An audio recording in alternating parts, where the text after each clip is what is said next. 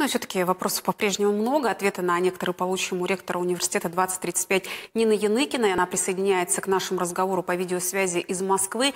Нина Олеговна, добрый вечер. Понятно, что искусственному интеллекту легко будет э, проверять задачи по математике. А вот как быть с гуманитарными предметами?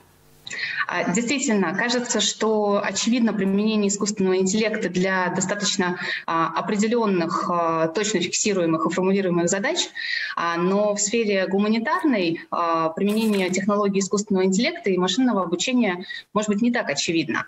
Однако даже сейчас мы видим инициативы и проекты, которые искусственный интеллект в гуманитарной сфере достаточно активно применяют. Примером такого проекта, например, является технологический конкурс прочтения, который, собственно, собственно, а, нацелен на создание технологий искусственного интеллекта, которые а, работают с текстами, со смыслами, с выявлением логических, смысловых и а, прочих ошибок в текстах. С другой стороны, можно даже на эту тему посмотреть чуть больше, чуть более широко, и подумать о том, как вообще может использоваться искусственный интеллект в образовании.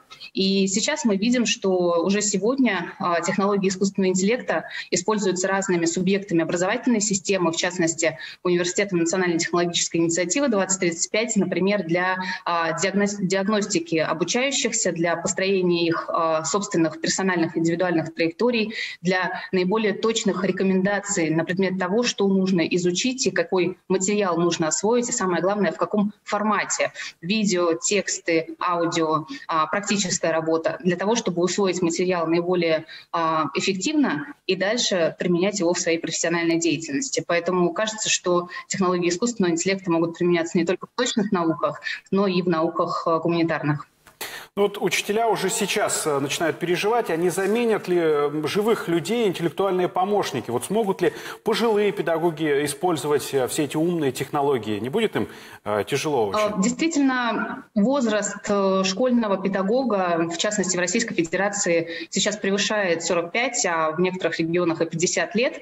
А, но кажется, что проблема несколько не то чтобы надуманная, но имеет свое решение. Ведь если мы говорим про интеллектуальных помощников, то э, мы говорим не только об интеллектуальных помощниках для ученика, но и об интеллектуальных помощниках для второй стороны образовательного процесса, для учителя, которые помогут ему сориентироваться в большом объеме знаний, которые ежедневно, ежечасно возникают в мире, а помочь своему ученику в этом а, огромном объеме знаний сориентироваться. Так что сами технологии искусственного интеллекта, которые применяются в рекомендательных системах и в создании этих самых интеллектуальных помощников, это помощь не только ученику, но и учителю учителю, ну а в целом, в широком смысле, всей системе образования.